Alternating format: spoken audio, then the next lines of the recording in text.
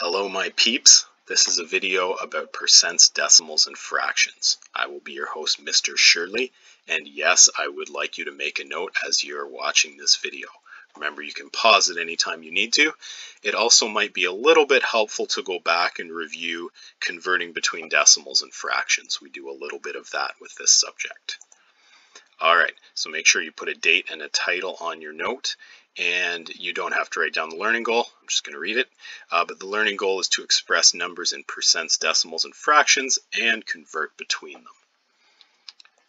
All right, so just a definitional thing. Percent literally means out of 100. So 16 out of 100 equals 16%. Okay, so in effect, this is sort of like the rates that we were doing last week. So anytime you've got 100 as the denominator, you can just take the numerator and that's the percent.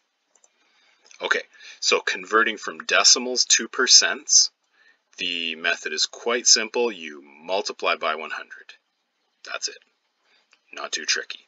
Now, uh, hopefully you remember a little bit of when we did some of this in the past. So there's a few methods you can use. You could simply multiply by 100, but if you happen to not have a calculator with you, uh, keep in mind that that's the same effect as moving the decimal place two spots to the right.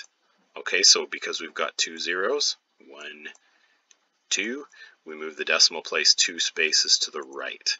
Okay, and that gets us um, 25%. So multiply 100, 25%. And yes, you'll see the patterns in this, and this will become faster and faster as you do it.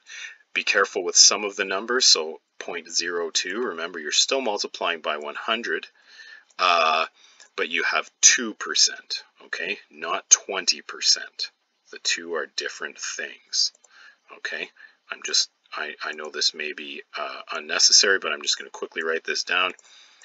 This would be 20%, okay? 0 decimal 2. So that times 100 would equal 20%. Again, forgive my very poor writing. Um, but you get the idea, okay? So 0.02 would be 2%, 0.2 would be 20%, so big difference there. Now, when you get um, numbers that are bigger than 1, you still do exactly the same thing. So you multiply by 100, you move that decimal place two spots over, and you end up with 311%. So yes, you can have percents higher than 100. Happens all the time. Uh, so just just be comfortable with it. All right, on to the next one. Fractions to percents. Okay. Um, so the the method you're wanting to use here is to convert to a decimal first and then multiply by 100. So hopefully you're quite comfortable and remember well on how to convert from a fraction to a decimal. It's fairly straightforward.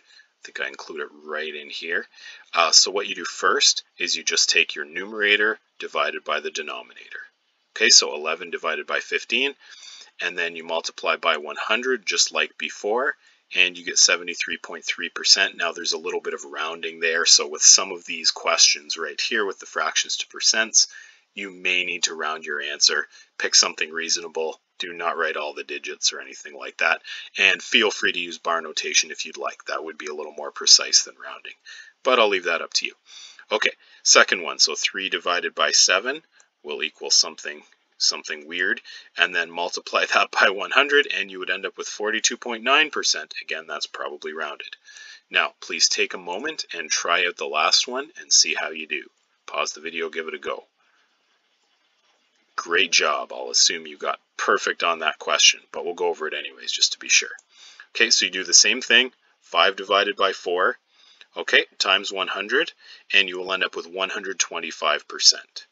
Okay, so just as a way of error checking your numbers, if you have the numerator smaller than the denominator, so these two, for example, the top is smaller than the bottom, your percent in the end will be smaller than 100. Okay, when you have the numerator bigger, like this one, your percent in the end will be bigger than 100%. And if you happen to have a fraction that was equal on top and bottom, that would equal 100% exactly. It doesn't come up that often because it's a little bit of a silly question. But just for error checking to make sure your answer is reasonable, just keep an eye on it and compare it to that to see whether you should be above or below 100%. All right, on we go. Now, percents to decimals, fairly straightforward, just doing the opposite of what we did before. So divide by 100. Okay, so again, you can simply divide by 100, punch that into a calculator, however you'd like to do it. Uh, or if you're without one, you can just move the decimal place 2 to the left. Again, the opposite of what you would be doing to multiply by 100 because dividing and multiplying are opposites from each other. Uh, so move that decimal place 2 to the left and you end up with 0 decimal 79. Okay, when you have a number that's bigger than 100%, you still move it only two spots to the left, so you end up with 2 decimal 23. Okay, again, if you have a, a percent that is bigger than 100, which 223 is certainly bigger than 100, you should end up with a number other than 0 in front of the decimal. Okay, uh, as we talked about much earlier in the year, Technically, you don't have to put the zero in front of the decimal, but I really encourage you to do that. It makes it less likely you'll miss the decimal point and think that number is 79 or something like that. Please put in that zero. It's a lot easier to understand, a lot less troubles can come from that. All right, and then on to our last one is uh, converting from percents to fractions. Okay, this one takes a little bit longer, but it's still not too bad. So express with a denominator of 100 and then reduce it to lowest terms. All right, so first step, express with a denominator of 100. Okay, so no matter what it is, denominator of 100, and express just means write it that way. Okay, so take your 24, put it above the 100, and then reduce to lowest terms. And this certainly can. And if you reduce that down to lowest terms, you get 6 over 25. Yes, I know we're bringing fraction and ratio stuff right back in here, but they're all connected. So it's quite logical that we do that. All right, on we go. 73%, um, so that's just 73 over 100, and you can't reduce that to lowest terms. Yay, very exciting. So we don't have to do anything with that. Now, when you get a number that's bigger than 100, you still do the same thing.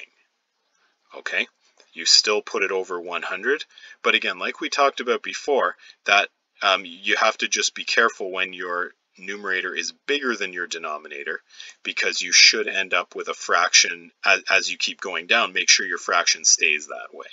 Okay, so that can reduce to 3 over 2 or to 1 and 1 half if you really like mixed fractions. Okay, so again, just be careful that you're watching your answers so that it makes sense. You don't lose the 1 here somehow or uh, inadvertently end up making your numerator smaller than your denominator just because you think it should be that way.